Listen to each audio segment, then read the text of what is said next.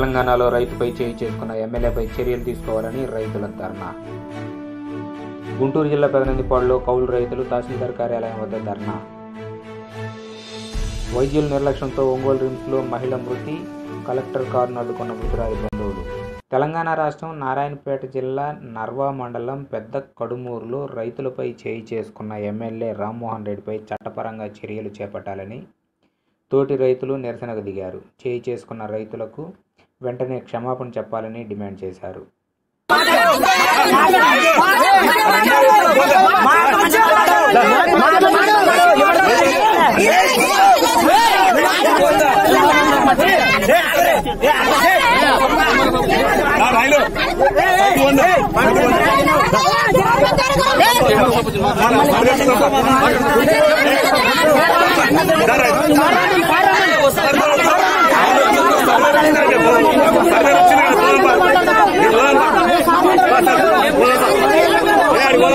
కాదు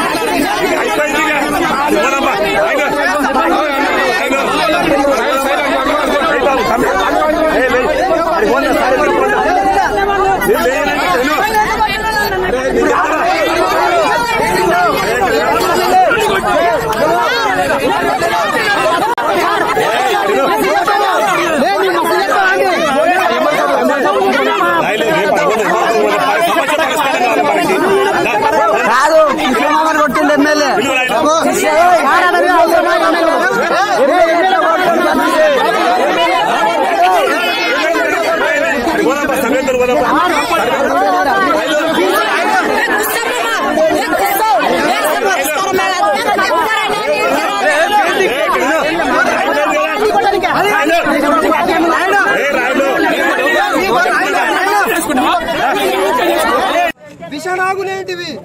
అవి ముందు బయటికి రావాలంటే అవన్నీ తీసుకురావాల్సిన అవసరం మాకు లేదు కానీ మీరు వచ్చి ఇక్కడ యువకులకు క్షమాపణ చెప్పి ఇక్కడ నుంచి వెళ్ళిపోతే మీకు పదివేల నమస్కారాలు చేస్తామని.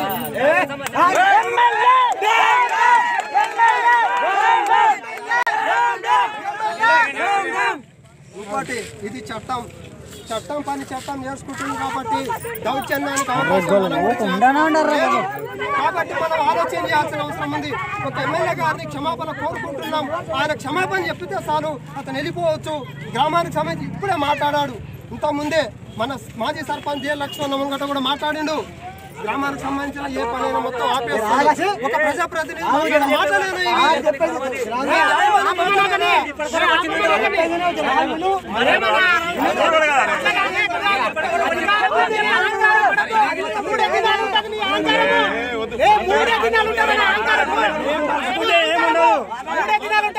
పోస్టింగ్ పోస్టింగ్ ఇచ్చి ఊడి ఇంటికి పంపిస్తాం మేము అనుకుంటే.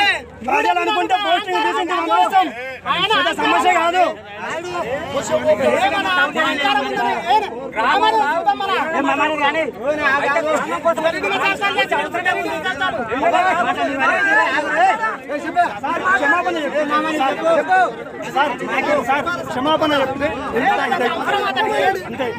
క్షమాపణ ఎందుకంటే మా మీద దౌర్జన్యం చేసింది సార్. మీరు అలా ఒక మాట చెప్తే అయిపోతుంది.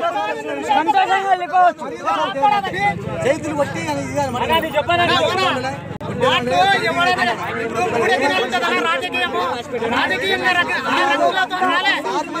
ఇక్కడ ప్రజలు శాశ్వతంగా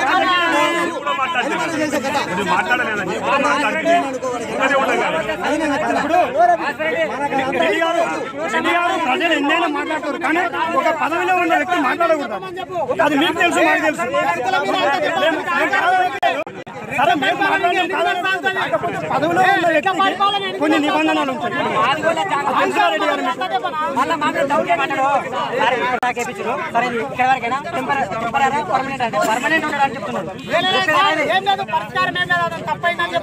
క్షమాపణ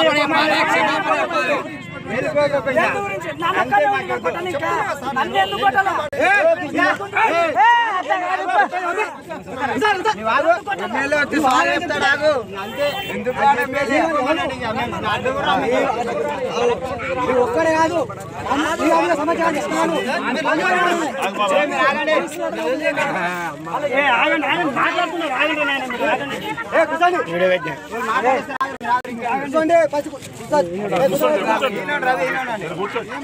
జిల్లా పెదనందిపాడు కాకుమాను మండలాల్లో శనగ రైతులకు ఇస్తామన్న ఇన్పుట్ సబ్సిడీ పదిహేను వందలు తక్షణమే ఇవ్వాలని రుణమాఫీ నాలుగైదు విడతలు వెంటనే విడుదల చేయాలని రైతు భరోసా కులాలతో సంబంధం లేకుండా అందరికీ వర్తింపు చేయాలని రైతులు డిమాండ్ చేశారు.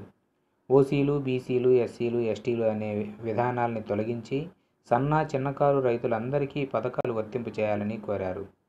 సమస్యలు వెంటనే పరిష్కరించకపోతే ప్రజా సంఘాలు రైతులను కలుపుకొని పోరాటం ఉధృ ఉధృతం చేస్తామన్నారు. కార్యక్రమంలో కౌలు రైతుల నాయకులు అజయ్ బాబు కొత్త నాగేశ్వరరావు పత్తిపాడు కౌలు రైతు సంఘం నాయకులు నాగేశ్వరరావు టీడీపీ నాయకులు రావి శివరాం కృష్ణయ్య అగస్టిన్ వీరయ్య చౌదరి పాల్గొన్నారు.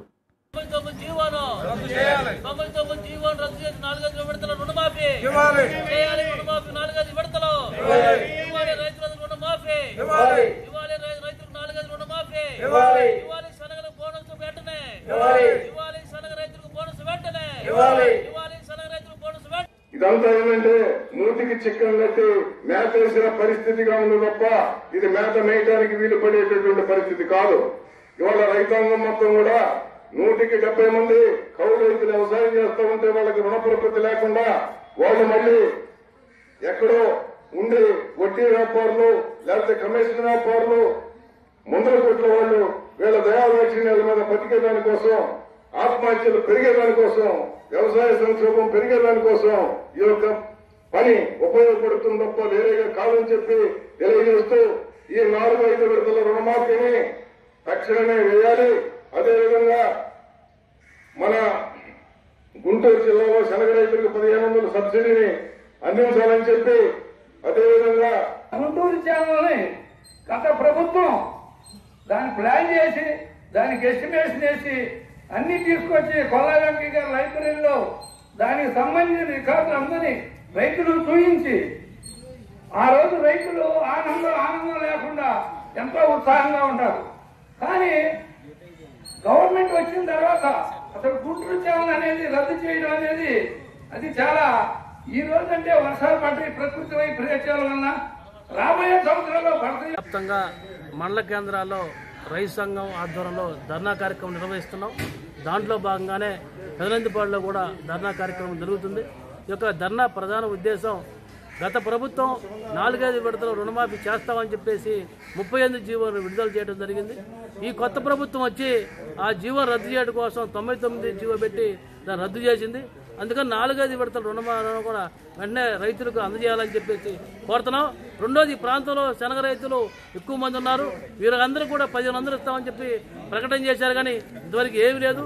దీనివల్ల నష్టం జరుగుతుంది. అదే రైతు భరోసా సంబంధించి కూడా ఓసీలకు లేదని చెప్పి చెప్పడం కాకుండానే దీంట్లో కులపాతాలకు సంబంధం లేకుండా రైతు భరోసా- భరోసా అంది రైతులు రోడ్డు మీదకి వచ్చి మాకు అన్యాయం జరుగుతుంది అని చెప్పేసి గొంతేస్తూ అడుగుతారా అక్కడ మాత్రమే రైతులకు న్యాయం జరుగుతుంది. దీనికోసం ఇవాళ రైతుల్ని రోడ్డు మీద ఎక్కకుండా పార్టీలుగా విడగొట్టి కుల మతాలుగా విడగొట్టి ఇవాళ రైతుల్ని వెనక్కొట్టి వర్షాలు ఈ వర్షాలకు పైర్లు ఉంటాయా ఓడతాయా అనేది సందిగ్ధంలో రైతులు కొట్టమంటారు చేతికి ఎప్పుడు వస్తుందా అని చెప్పి విత్తనాలు వేసి పరుగు వేసి కష్టాలు కోర్చి పండిస్తే వారి గిట్టుబాటు ధర గవర్నమెంట్ ఇవ్వకపోగా ఆ వైద్యుల నిర్లక్ష్యం నిండు పరాణాన్ని బలి తీసుకుంది. ఒంగోలు రిమ్స్లో జరిగిన ఘటన బాధితురాలు బంధువులకు కుటుంబ సభ్యులను విషాదానికి గురిచేసింది. ఉలవపాడు మండలం వీరేపల్లికి చెందిన గుమ్మడి లక్ష్మి అనే మహిళను రక్తం తక్కువగా ఉందని గురువారం ఒంగోలు రిమ్స్ వైద్యశాలలో చేర్చారు. శుక్రవారం ఉదయం ఆమె మృతి చెందారు. దీంతో వైద్యుల నిర్లక్ష్యమే ఆమె మృతికి కారణమని ఆమె బంధువులు మృతదేహంతో వైద్యశాల ఎదుట ఆందోళనకు దిగారు. అదే సమయంలో మరో కార్యక్రమానికి హాజరైన కలెక్టర్ భాస్కర్ కారును అడ్డుకున్నారు. తమకు జరిగిన అన్యాయాన్ని కలెక్టర్కు వివరించారు.